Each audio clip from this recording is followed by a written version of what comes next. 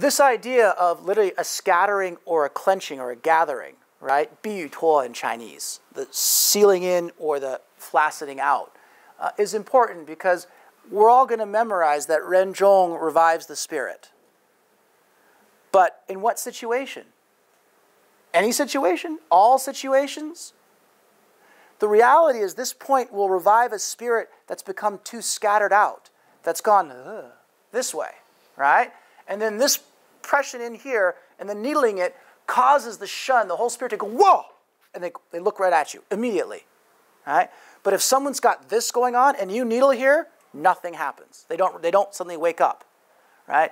Uh, not every point does everything. And so we have to be aware of what's going on with the chi that would make this point effective for this or that point effective for something else.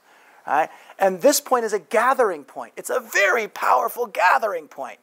But if the, if the person's in a coma because things are gathered, you're going to poke here, and they're not going to go the and wake up for you. Which, I mean, I don't know how many of us has, but I, you know, the when you teach a lot of the the Daoyin seminars that we've been teaching over the years, this, the pulling chi, the eight sounds, the, all of these things. I mean, we've been doing this for a really long time, since 93. Uh, invariably, people pass out because whatever's going on with them and they get a little woozy or whatever happens. And so, in any tour, when we used to do tours, there'd at least be at least one person who passes out. And then you go, pop, the person's, you get to use this. Uh, but if the person had something that was going in, it wouldn't work.